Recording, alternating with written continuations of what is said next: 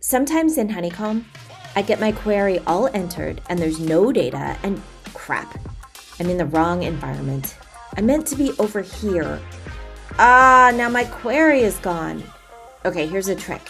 Go back, so now I have the right query, but I'm in the wrong place. I click this three dot menu above Run Query, and then I choose View Query Definition for API. Alright, here's the query spec in JSON. Copy it with this copy button. Now I go back and I choose the new environment. Check the data set, and I want this one. Now, here's the magic. The URL currently ends with the dataset name. I add a question mark and then query equals and then paste.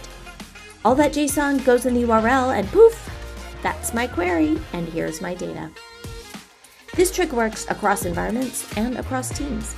If you want more details, check docs.honeycomb.io and look under query template links. Happy honeycombing!